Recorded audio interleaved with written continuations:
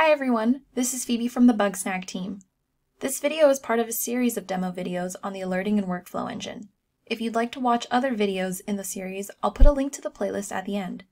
In this video, we'll cover how to use the alerting and workflow engine to customize your notifications for new errors introduced. So now I'll pass it over to Yvonne, our solutions engineer, who will walk you through that. Awesome. So kicking it off with this very first use case that I think is going to be something that's familiar to a lot of the audience. And that's the use case of focusing in on a release where you're ramping up adoption across your user base and you want to know when errors have been introduced, when there's a new root cause to an error. Bugsnag does a great job of identifying that today, and that's visible in the releases dashboard by looking at the errors introduced section. So we have this release that we deployed five hours ago. There are some errors, but none that have been introduced, and that's a pretty good indicator. But because we can't be held to continue to refresh this page and look in the errors introduced section, we want to create some automations around this so that there's less manual effort on a release manager side or whichever engineer is on rotational duty. So to do that, I'll jump into the inbox and I'll highlight something that I think goes a bit underutilized. So to create a search that basically reproduces the behavior that you were seeing in the releases dashboard, I can go to the search bar, I can toggle to errors introduced in, and then just select the latest release, and that's going to remain true uh, for subsequent releases, and I'll apply that search. We don't expect any results because we saw that that version doesn't have any errors that have been introduced. Um, but I've already gone ahead and created a bookmark for this. It's called errors introduced in last release. But I want to show you the two different places where you can create a bookmark. So you have the option in this top right corner or on the bottom left. And when you select that option, you can either, you can give the bookmark a name, you can set it as your default view for the project, and you can share that bookmark with your team, which is definitely something that you'll want to do if you plan to use a bookmark in combination with the alerting and workflow engine.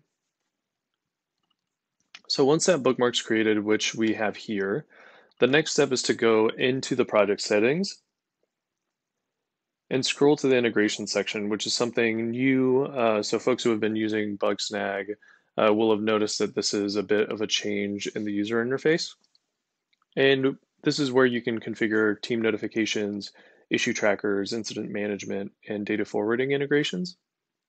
So we'll go ahead and configure this Slack integration that I've created that's pointing to this errors introduced in latest release channel. So here, I want to stay focused on this given use case. So we're talking about errors introduced as part of our last release. So what I want to be notified about is just when a new error occurs. This is going to be a big change from what you've seen when configuring notifications in Bugsnag before. So when you select one of these triggers, that then gives you the option to select basic filters where you can set uh, criteria based on release stage, based on error type, severity, or status. Or you can use the advanced filter option, which I'm personally the most excited about. Um, being able to say and set criteria in the inbox, create a bookmark, and then have that populate these advanced filters, I think is going to be really useful to a lot of teams. So in this case, we're going to select the bookmark that we've created for errors introduced in last release and save that. That should now be sending notifications to Slack when a new error is introduced, and we'll do something similar for Jira.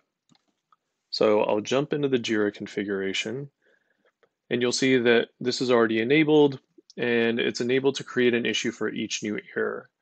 And before there wasn't any filterability here, we would just always create a new issue for each new error, and that can lead to a bit too much of backlog, too many uh, JIRA tickets being created.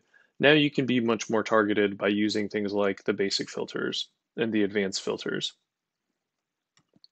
So I'll save that, and then my next step will be to navigate over to Slack,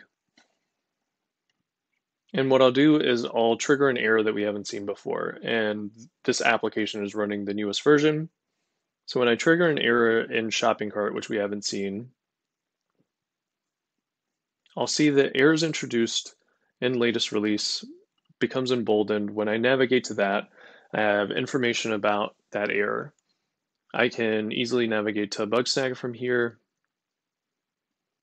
That then gives me all of the error details that I need. And the other thing that I see is that in this top left side, you see that a linked issue has already been created. So I can click this. I'm automatically just navigating to the corresponding JIRA issue that's been created by our integration. And this has some information about that error. And I can go ahead and start identifying the root cause and creating a pull request and patching this issue. Um, so this is some of that like thoughtfulness that we want you to put into bookmarks and create some seamless interactions between Bugsnag and your third-party ecosystem.